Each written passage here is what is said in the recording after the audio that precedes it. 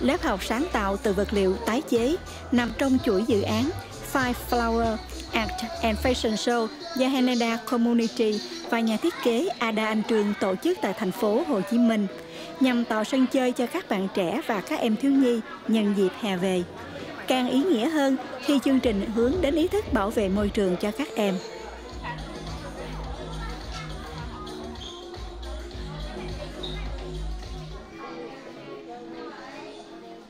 Buổi workshop lần này là từ các bé từ 4 tuổi đến 12 tuổi với mong muốn là các bé có ý thức nhận thức về việc bảo vệ môi trường và sử dụng các vật liệu tái chế. Để từ đó các bé có một cái nền tảng và từ đó thì uh, các bé có thể uh, trong quá trình phát triển của các bé thì uh, các bé có ý thức đó để sau này uh, các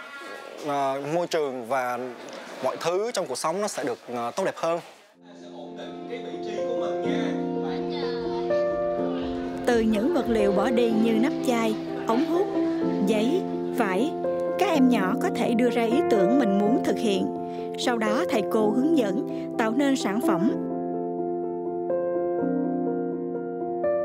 Những bức tranh nhiều màu sắc, đính các nút áo, nắp chai vô cùng ngộ nghĩnh, đáng yêu, thành quả trong một buổi sáng miệt mài sáng tạo của các em. Đây là một chương trình rất là ý nghĩa giúp cho bản thân chúng con cùng với tất cả những bạn đồng trang lứa có thể cùng nhau chung tay bảo vệ môi trường của chúng ta để cho chúng ta có một cuộc sống lành mạnh hơn. Và đối với con thì mỗi chúng ta chỉ cần góp một sức mình thôi là có thể bảo vệ được uh, một lá phổi xanh để có thể uh, bảo vệ không những chúng bản thân mình mà còn bảo vệ được cả gia đình của chúng ta